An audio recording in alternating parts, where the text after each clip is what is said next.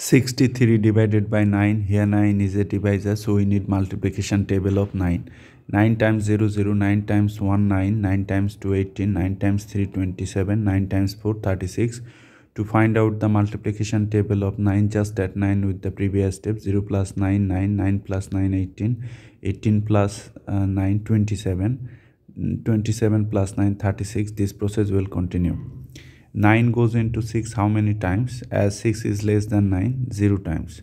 0 times 9 0 subtract 6 bring down this 3 9 goes into 63 how many uh, times? Look.